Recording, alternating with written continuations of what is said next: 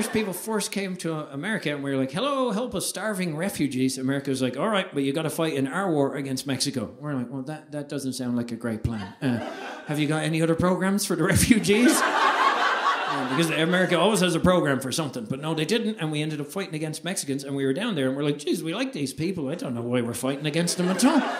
We have a lot in common. They're great fun. And then we saw the deal breaker, Latinas. We're like, we're changing sides. Yeah, we saw, we were conquered, and we came.